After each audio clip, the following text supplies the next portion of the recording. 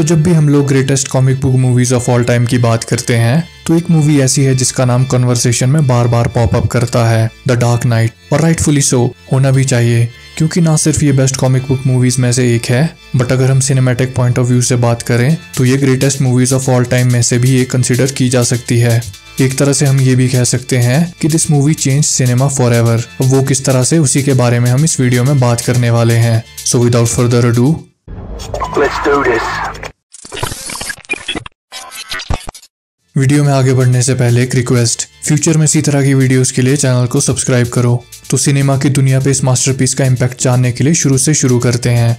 Initially जब 2005 में Batman begins release हुई थी तो उसे डायरेक्ट किया था क्रिस्टोफर नोलन ने। ऑस्कर विनर क्रिस्टोफर नोलन जो कि फाइनली और डिजर्वेडली कुछ दिनों पहले ही बेस्ट डायरेक्टर का ऑस्कर जीते हैं। तो क्रिस्टोफर नोलन यूजुअली एक फ़िल्म बनाते हैं और उसी एक मूवी में अपनी पूरी स्टोरी को कंप्लीट करते हैं और आगे बढ़ जाते हैं। मतलब वो अपनी फ़िल्म के सीक्वल्स नहीं बनाते बट बैटमैन बिगेन्स इस मामले में एक एक्सेप्शन साबित हुई। शुरुआत में इसका भी कोई सीक्वल नहीं आने वाला था। बैटमैन बिगिंस के बाद नोलन अपनी अगली फ़िल्म द प्रेस्टीज पे काम करने लगे और 2006 में ये भी रिलीज़ हो गई। इसके बाद कुछ ऐसा हुआ कि एक बार के लिए ही सही नोलन साहब का सीक्वल्स को लेकर माइंड चेंज हो गया। जोकर का कैरेक्टर उन्हें काफ़ी इंटरेस्टिंग और इंट्रीगिंग फील हुआ था और अपने पहले पार्ट में वो उस कैरेक्टर को यूज़ नहीं कर पाए थे।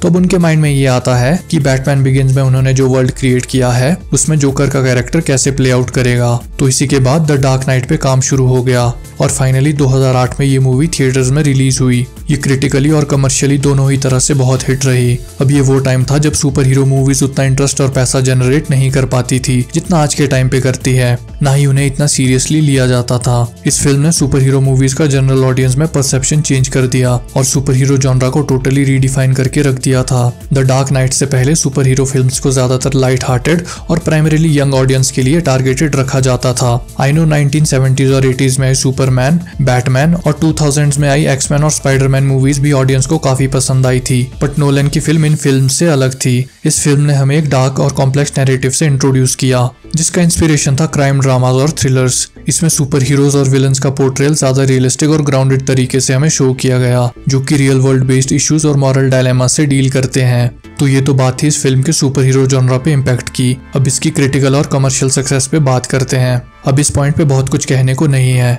I mean it was successful critics को ये फ़िल्म पसंद आई सुपर हीरो फैंस को ये फ़िल्म पसंद आई जनरल ऑडियंस को ये फ़िल्म पसंद आई। इसके अलावा बॉक्स ऑफ़िस पे भी इस फ़िल्म ने काफ़ी अच्छी खासी कमाई की। और इस सबसे ये पॉइंट निकलता है कि इस फ़िल्म ने आगे आने वाली सुपर हीरो फ़िल्म के लिए रास्ता बनाया, ताकि फ्यूचर में इस जॉनरा की मूवीज़ को क्रिटिक्स और जनरल ऑडियंस दोनों ही थोड़ा सीरियसली कंसिडर करें। सिनेमा के इम्पोर्टेंट पार्ट्स में से एक होता है फ़िल्म मेकिंग और फ़िल्म मेकिंग पर भी इस मूवी का काफ़ी इम्पैक्ट रहा था। नोलन ने फ़िल्म को बहुत ही ब्यूटीफुली फ़िल्म किया था। यूजुअली हम सुपर हीरो मूवीज़ में आज भी ग्रीन स्क्रीन और सीजीआई से बने इफेक्ट्स देखते हैं। बट इस मूवी में क्रिस्टोफर नोलन ने मोस्टली प्रैक्टिकल इफेक्ट्स का यूज़ किया है, जिससे इस फ़िल्म का रियलिज्म और भी ज़्यादा बढ़ जाता है। इसके अलावा फ़िल्म की स्टोरी टेलिंग भी ज़बरदस्त थी, जिस वजह से टेक्निकली इस फ़िल्म ने फ़िल्म मेकिंग में एक नया स्टैंडर्ड सेट किया। इसके अलावा फ़िल्म के कई सीन्स शूट करने के लिए आईमैक्स कैमरास का यूज़ हुआ था। उस टाइम पे आईमैक्स कैमरास का फ़िल्म में इतना यूज़ नहीं होता था। ये ज़्यादातर नेचर डॉक्यूमेंट्रीज में बहुत ही हाई क्वालिटी शॉट्स दिखाने के लिए यूज़ होते थे। बट इस फ़िल्म के ऐसे बहुत से सीक्वेंसेस हैं, जहाँ आईमैक्स कैमरास का यूज़ हुआ है।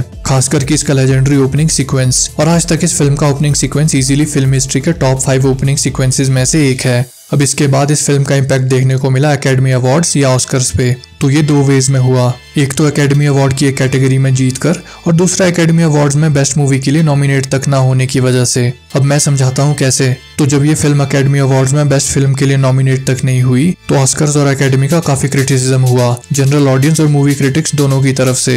ये क्रिटिसिज्म काफ़ी वाइड स्प्रेड था और इस क्रिटिसिज्म का एकेडमी पे असर भी पड़ा। अपनी गलती को सुधारते हुए एकेडमी ने अपने मूवी नॉमिनेशन वाले सिस्टम में एक चेंज किया। अब आगे से आने वाले एकेडमी अवार्ड्स में बेस्ट पिक्चर के लिए नॉमिनेट होने वाली फिल्म्स का नंबर इंक्रीज कर लिया गया, जिस वजह से फिल्म्स की एक बड़ी range including super hero movies और लोगों में पॉपुलर फिल्म्स को भी अब इस अवार्ड में नॉमिनेशन का मौका मिलने वाला था। इसके अलावा एक कैटेगरी जिसमें इस फ़िल्म में काम करने वाले एक्टर ने अवार्ड जीता था, वो था Oscar for the best actor in supporting role और ऐसा हिस्ट्री में पहली बार हुआ था, जब किसी कॉमिक बुक बेस्ड मूवी में किसी एक्टर को एक ऑस्कर मिला था। हीथ लेजर को यह अवार्ड जोकर का कैरेक्टर प्ले करने के लिए मिला था, और आज भी उनकी उस परफॉर्मेंस को एक बेंचमार्क की तरह देखा जाता है। और फाइनली अब बात करेंगे इस फ़िल्म की लेगेसी के बारे में। इसने अपने पीछे क्या छाप छोड़ी है, उसके बारे में। द डार्क नाइट का इन्फ्लुएंस बस सुपर हीरो फ़िल्म तक ही लिमिटेड नहीं रहा है।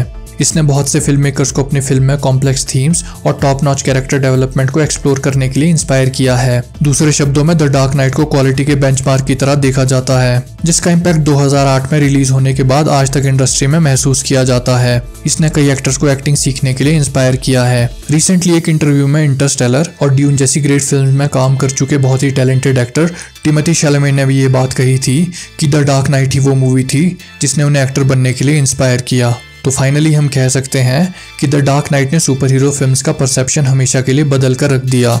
हमें ये दिखाया कि सुपर हीरो मूवीज़ भी डीप फिलोसॉफिकल और कॉम्प्लेक्स हो सकती हैं। बॉक्स ऑफ़िस पे खूब कमाई करते हुए भी क्रिटिक्स और ऑडियंस दोनों को पसंद आ सकती है। टेक्निकली साउंड और मास्टरपीस हो सकती है, जो अपना इम्पैक्ट लंबे समय तक आने वाले फ़िल्म मेकर्स और एक्टर्स की जनरेशन और पूरी फ़िल्म इंडस्ट्री पे डाल सकती है। इन अ वे हम कह सकते हैं कि the dark knight change cinema forever so that's it for the video future में इसी तरह की videos reviews movies and series explanation और पॉप कल्चर रिलेटेड कंटेंट के लिए चैनल को सब्सक्राइब करो। See you in the next one.